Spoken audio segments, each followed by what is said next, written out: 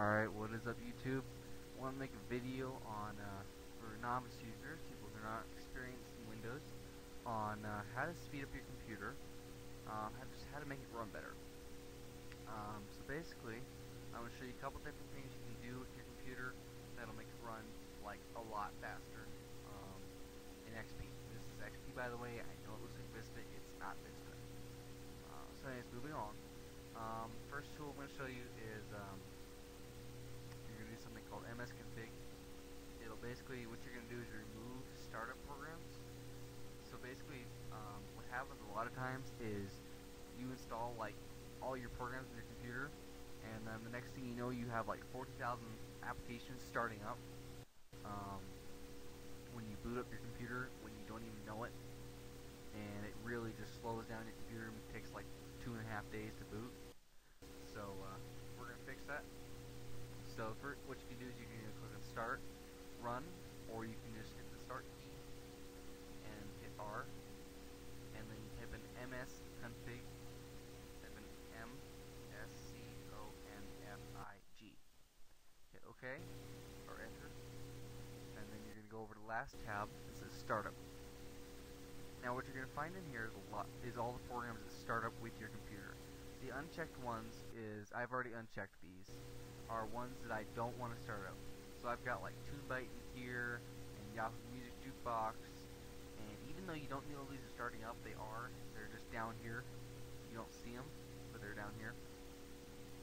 Um, so basically just remove programs that you don't want, and you don't have to start up with it, so you have like iTunes or something like that and uh, you don't use iTunes that often just to sync your iPod once in a while, go ahead and like uncheck that. Like I have iTunes right here, uncheck that, and then hit apply. Um, and basically, since I don't use iTunes that often, I can then check that, and now my computer will run a lot faster. Now it will take longer for iTunes to start up, but it will improve the speed of your computer a lot and help with RAM. So ahead and close hit exit without restart unless you want to restart your computer and next time you boot up your computer it will change the starter program.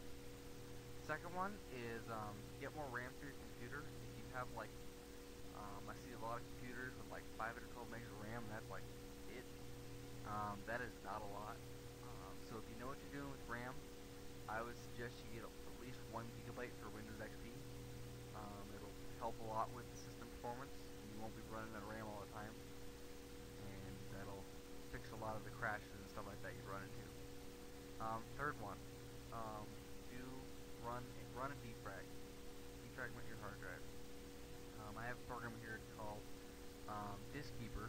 This is a $30 program, I believe, um, but it does amazing things. Basically, it happens after a while, after you've been using your computer for a couple months. Um, a lot of the files become scrambled around and just on your hard drive. It, it takes like two and a half hours for it to uh, load the files off the hard drive. what you can do is you run Diskeeper, um, and this will line all the files and load things like twice as fast.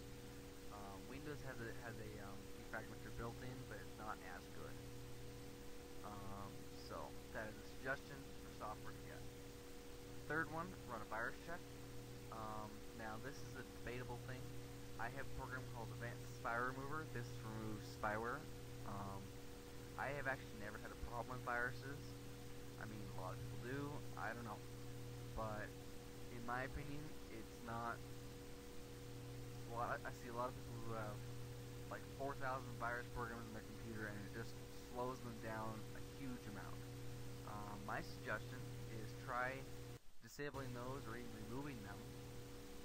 Um, that'll speed up your computer a lot because you won't be constantly running into you know virus programs with virus checks all the time, um, which just slow your down, computer down overall.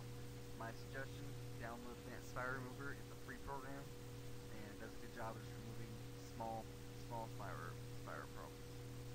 Um, final thing: remove junk programs. I see a lot of people, a lot of my friends, they have um, 4 billion programs in their computer. This will slow it down, okay? So my suggestion is, you know, they have like, I've got like one and a little bit here, lines of programs. I see people with like 4 lines of programs, and uh, half of them are things that don't even know what the heck they are. Um, so my suggestion is to start control panel, add or remove